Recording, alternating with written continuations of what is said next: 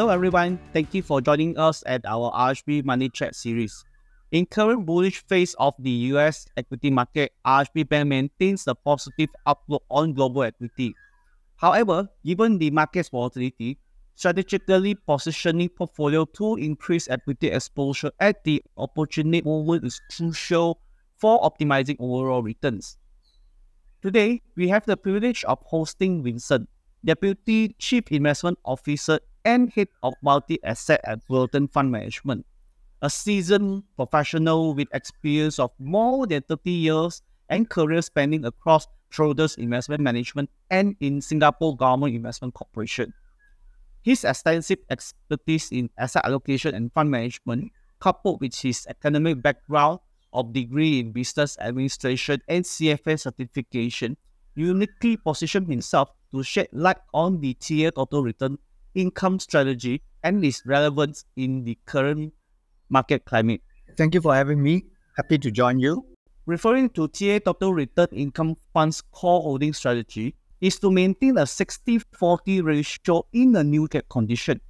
In line with Fullerton's and your active investment team's view, what is the current asset allocation and the reasoning behind it?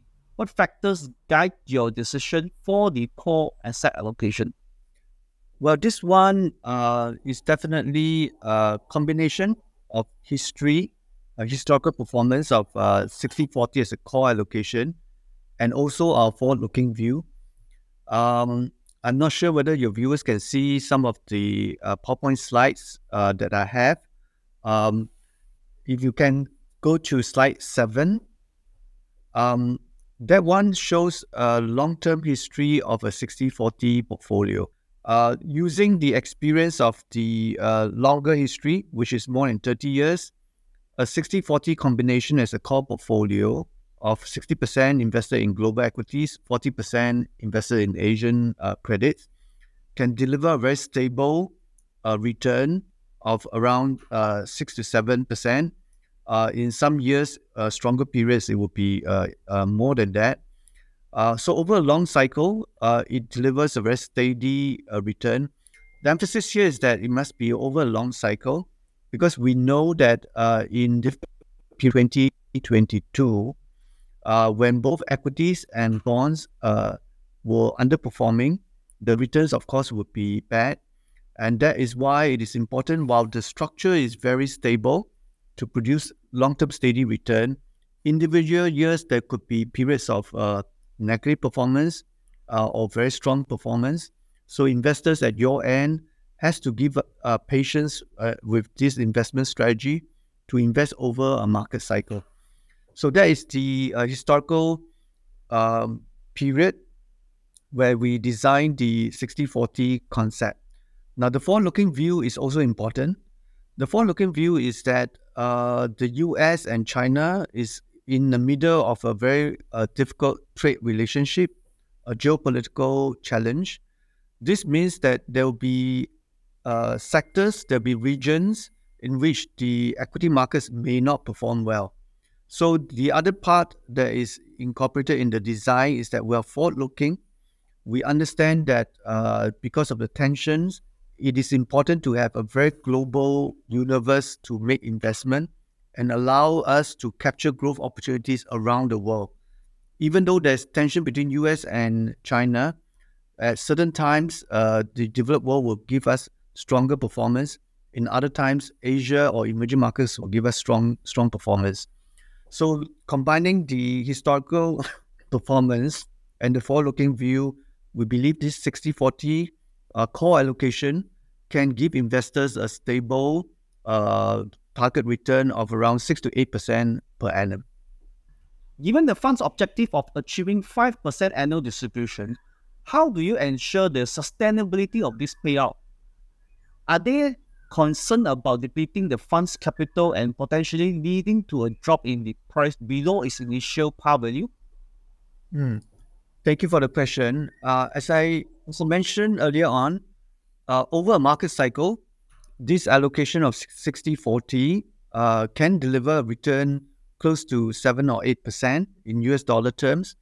And therefore, we should be able to sustain the payout of 5%. But the important thing is that uh, after paying out 5%, the fund will continue to grow uh, with a, a, total return of, uh, let's say, 7%. It can still cap- have, enjoy capital appreciation of 2% after paying out 5%. Now, uh, this is uh, uh, emphasis on investing over a market cycle. In individual years, as I mentioned, in 2022, you can have a very difficult period, uh, but that would mean that uh, we'll be dipping into uh, initial capital value to sustain the payout. But after the difficult period of 2022, you can see already in 2023, and it is our expectation in 2024 as well, markets will rebound. With the recovery in the markets, we can then uh, recover the amount that's been paid out from capital and therefore continue the journey to deliver that uh, 7 to 8% return per annum. So it's very important for our investors to understand that uh, they must invest and stay invested over a market cycle. Individual years, there could be difficult years, there could be phenomenon uh, years where re- returns are very strong. That would allow us to average out and still pay out 5% and allow us, the investors, to continue to participate in capital appreciation uh, of between 2 to 3%. So I guess from your answer you mentioned just now, as long as in the long run, if the total return strategy can deliver, say, 7% or higher, so giving up a 5% distribution will not impact his uh, so-called uh, below the initial par value. Hi investors, if you have any other question for Vincent, please feel free to put down in the chat box below. We will try to address them as soon as possible. Vincent, of all the mixed asset fund in the market, I can't help to find it interesting to note that the TA Total Return Income Fund predominantly invests into mutual funds and ETF. What strategies do you employ to increase exposure to a specific sector underlying asset when favorable opportunities arise? Thank you for the question. And to answer that, I think it's important to understand that our fund is very different from other uh, competing funds.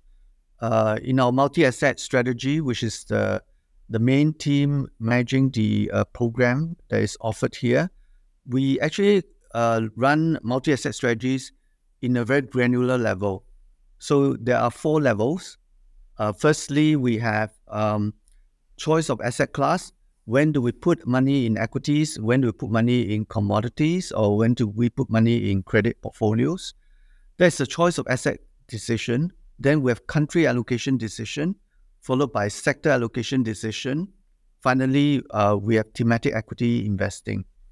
So that four layers of decision making process is very important in understanding the strategy of this fund. So we make a very uh, clear investment decision which asset class, which country, which sector to invest in. So you you take for example, today uh, we have a very positive view on um, global equities. We're invested both in our Fullerton funds uh, for global equity exposure as well as ETFs. Um, so the global funds using Fullerton strategy allow us to participate in uh, stock picking, stock selection, uh, alpha or value add. So that one allows us to not only invest in the region, but also directly invest in the stocks. When do we then uh, bring in the ETFs? The ETFs is, a, is something that allow us to exercise the second and third uh, decision making that I was talking about. Uh, when we want to tilt the portfolio in terms of country, when we want to tilt the portfolio in terms of sector, that is when we use external ETFs, low cost uh, solution to maximize the value capture. So let me give you an example. Uh, our investors in the region would recognize that China is going through a very difficult period. China is a big market in Asia, but it's not the only market in Asia. There are other growth opportunities in Asia, and the two examples I can give is India and Japan. So while our internal stock pick um, can uh, look at global opportunities, our country tilt using ETFs like India ETF and Japan country ETF allow us to tilt the portfolio to growth region uh, by country. We also use uh, ETFs at the sector level to tilt the portfolio to capture two very important sectors to generate a return. One is the technology sector. You may see from our fund fact sheet, we do have ETF in uh, QQQ, which is a dedicated US technology sector ETF that follows the NASDAQ. So that is one, one sector exposure. The other sector exposure that we will be adding to the portfolio is the energy sector, uh, energy companies. Uh, that's because we have a view that the oil continue to uh, escalate and go up because the economies are rebounding. So you can see that using both externally ETFs to tilt the country and tilt the sectors, we can combine with the internal Fullerton equity funds to enable the security selection alpha and value add to come across. So that's why we um, we are very open architecture. We focus on the strategies, the four layers I talk about, to add value to our clients. That's a really interesting, Vincent, that you shared that your your portfolio managers uses ETF or mutual fund to increase, reduce, or navigate your exposure within different country and sectoral allocation. As you rightly mentioned, referring to its latest holding, the fund has limited exposure to emerging market. What actions can the fund manager take to capitalize on potential prospect in the specific securities, a specific stock? Could you provide example of such opportunities? Uh, yes, yes. Thank you for the question. So in Fullerton today, the top-down uh, asset allocator like uh, my team, as well as the bottom-up security selection team from our equity colleagues, uh, we are aligned. Uh, we think that there is a significant new development uh, in AI, artificial intelligence, where companies that adopt and provide this new technology to the rest of the world would enjoy very strong earnings growth so, uh, very, very specific to this sector, we invest in our Fullerton uh, Global Equity Alpha Fund. There, they pick very specific uh, companies, and they will include names like uh, Meta. It will include names like Nvidia, which is uh, in the forefront of the new AI. It will also include names like um, uh, Microsoft. So those are the area of very specific concentration of exposure in technology stocks.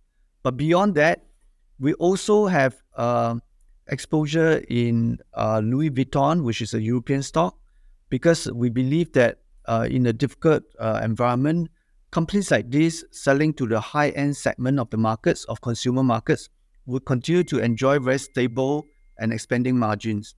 But it's not just technology stocks and um, luxury items. We are also invested in uh, BlackRock, uh, which is a financial uh, company, uh, because of their very strong global position, and they are expected to do well to be able to extract value by selling their financial services uh, globally. So these are examples that we can control within Fullerton because we invest in in our uh, internal funds where we can go down to individual companies to extract value. For the ETFs that I, I just talked about, we're only focusing on country and sectors, but with our internal files, we can go down to company levels. And that combination is indeed very powerful in terms of our ability to generate returns for our investors. That's refreshing that you have shared that the fund managers utilize both uh, top down and bottom up strategies. So far, we have been mostly talking about equity portion. Let's look into the fixed income space for this fund. Given the investment horizon for the next, say, 6 to 12 months, what type of bonds are you considering? Would you be looking at US Treasuries? And how do you plan to assess and include these assets within the portfolio? Um, so, uh, thank you for the question. Uh, I think the question relating to the uh, bond allocation is very important because there are two drivers. One is the market cycles, and then the other one is policy action. For the market cycle, we can see very well that the equity market and the bond market are giving different interpretation. the equity market is pricing in a full recovery in the US economy. That's why you can see globally the Nikkei, Japan Nikkei, the Indian Sensex, which is the Indian stock market index, as well as several European equity market indices, they're fully recovered to the all-time high. Uh, but in the bond market space, the yield curve is inverted because the central bank are fighting inflation, and the inversion of yield curve suggests that the bond market uh, participants are pricing in a recession. So this two discon- this disconnect between the two markets actually provides an opportunity for us to be heavily invested overweight in equity. So the fund has a core exposure of 60% equity, 40% credit. Today, we are more than 70% in equity. We are participating in the e- recovery in the equity markets. As for the bond portion, it is now very small, very low. Uh, when will we make the allocation to fixed income? Uh, it will happen when central bank starts to pause and actually cut interest rates. Our house view is that the central bank, particularly the US Federal Reserve, will keep interest rate high all the way until middle of 2024. And then in the second half of next year, they will cut interest rates.